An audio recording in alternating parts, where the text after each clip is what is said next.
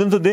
B B M P ಗುತ್ತಿಗೆದಾರರ, ಏನು, bill ಬಾಕಿ ಬಿಡುಗಡೆ ವಿಚಾರವಾಗಿ ಡಿ ಸಿ ಎಂ ಕುಮಾರಸ್ವಾಮಿ ವಿರುದ್ಧ ದೊಡ್ಡ ಮಟ್ಟದ ಆರೋಪ ಕೇಳಿಬಂದಿತ್ತು ಹಣಕ್ಕೆ ಬೇಡಿಕೆ ಇಟ್ಟಿದ್ದಾರೆ ಅನ್ನೋದು ಅವ್ರ ಮೇಲಿನ ಆರೋಪ. ಈ ಆರೋಪಗಳಿಗೆ ಈಗ ಡಿ ಕೆ ಶಿವಕುಮಾರ್ ಸ್ಪಷ್ಟನೆಯನ್ನು ಕೊಟ್ಟಿದ್ದಾರೆ. ಅದು ಕೂಡ ಕಾಂಗ್ರೆಸ್ನ ಸರ್ವ ಸದಸ್ಯರ ಸಭೆಯಲ್ಲಿ.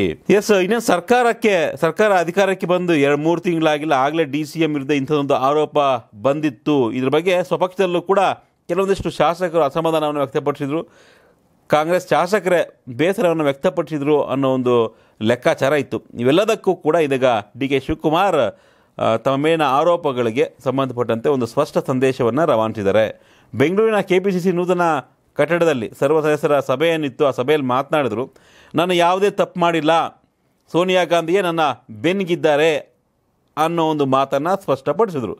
ಈ ಮೂಲಕ ಪಕ್ಷದೊಳಗಿನ ಟೀಕೆಗೆ ಸರ್ವ ಸದಸ್ಯರ ಸಭೆಯಲ್ಲಿ ಉತ್ತರವನ್ನು ಕೊಟ್ಟಿದ್ದಾರೆ ಡಿ ಕೆ ಶಿವಕುಮಾರ್. ಅಲ್ಲದೆ ಪರೋಕ್ಷವಾಗಿ ಸೋನಿಯಾ ಗಾಂಧಿ ಅವರು, ಅಂದರೆ ಕಾಂಗ್ರೆಸ್ನ ಹೈಕಮಾಂಡ್ ನನ್ನ ಬೆಂಬಲಕ್ಕೆ ಇದೆ ಅನ್ನೋ ಒಂದು ಮೆಸೇಜನ್ನು ಡಿ ಕೆ ಶಿವಕುಮಾರ್ ಪಾಸ್ ಮಾಡಿದ್ದಾರೆ.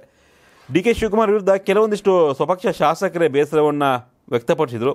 ಬಸವರಾಜ ರಾಗರೆಡ್ಡಿ ಸೇರಿದಂತೆ ಬೆಂಗಳೂರಿನ ಕೆಲವೊಂದಿಷ್ಟು ಶಾಸಕರು ಟೀಕೆಯನ್ನು ಮಾಡಿದರು ಅನ್ನೋ ಒಂದು ಮಾಹಿತಿ ಇತ್ತು.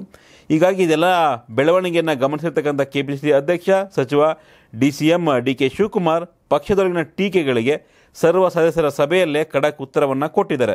ಇದರೊಂದಿಗೆ ಯಾವುದೇ ಗೊಂದಲಕ್ಕೀಡಾಗಬೇಡಿ, ನಾನೇನು ತಪ್ಪು ಮಾಡಿಲ್ಲ ಅನ್ನೋ ಒಂದು ಸಂದೇಶವನ್ನು ಸ್ಪಷ್ಟವಾಗಿ ಸರ್ಕಾರಕ್ಕೆ ಮತ್ತು ಶಾಸಕರಿಗೆ ನೀಡಿದ್ದಾರೆ. ಇನ್ನು ದಕ್ಷಿಣ ಭಾರತದಲ್ಲಿ ಬಿ ಜೆ ಪಿಯ ಬಾಗಿಲು ಮುಚ್ಚಿದೆ.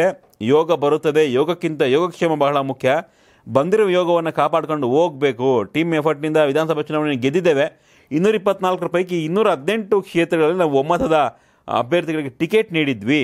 ಇದು ಒಂದು ರೀತಿ ಇಡೀ ದೇಶಕ್ಕೆ ಕರ್ನಾಟಕ ಚುನಾವಣೆಯ ಫಲಿತಾಂಶ ಸಂದೇಶ ಕಳಿಸಿದೆ. ಕರ್ನಾಟಕ ಮಾಡೆಲ್ ಪಾಲಿಸಿ ಅಂತ ಹೈಕಮಾಂಡ್ ಸೂಚಿಸಿದೆ ಅಂತ ಡಿ ಕೆ ಶಿವಕುಮಾರ್ ಹೇಳಿದರು. ಲೋಕಸಭಾ ಚುನಾವಣೆಗೆ ಎಲ್ಲರೂ ಒಟ್ಟಾಗಿ ಕೆಲಸ ಮಾಡಬೇಕು, ದುಡಿಬೇಕು, ಗೆಲ್ಲಬೇಕು ಅಂತ ಕರೆಯನ್ನು ಕೊಟ್ಟರು ಮುಂದಿನ ದಿನಗಳಲ್ಲಿ ನಿಗಮ ಮಂಡಳಿ ವಿಚಾರವಾಗಿ ಸಾಮಾನ್ಯ ಕಾರ್ಯಕರ್ತರಿಗೆ ನಾವು ಸ್ಥಾನಮಾನ ಕೊಡ್ತೀವಿ ಅನ್ನೋ ಒಂದು ವಿಶ್ವಾಸವನ್ನು, ಭರವಸೆಯನ್ನು ಕೊಟ್ಟರು ಡಿ ಕೆ ಶಿವಕುಮಾರ್. ಒಟ್ಟಿನಲ್ಲಿ ತಮ್ಮ ವಿರುದ್ಧದ ಭ್ರಷ್ಟಾಚಾರ, ಲಂಚದ ಆರೋಪಗಳಿಗೆ ಕಾಂಗ್ರೆಸ್ ಸಭೆಯಲ್ಲೇ ಅವರು ಸ್ಪಷ್ಟ ಉತ್ತರವನ್ನು ಕೊಟ್ಟು ಶಾಸಕರ ಮತ್ತು ಕಾಂಗ್ರೆಸ್ ನಾಯಕರ ಅಸಮಾಧಾನ ಇತ್ತು ಅನ್ನೋ ಒಂದು ಚರ್ಚೆ ಇತ್ತು. ಅದಕ್ಕೆ ಒಂದು ರೀತಿ ಮುಲಾವನ್ನು ಹಾಕಿದರೆ ಎಲ್ಲರ ಬಾಯನ್ನು ಮುಚ್ಚಿದ್ದಾರೆ. ಎಸ್, ಇನ್ನು ಮುಂದಿನ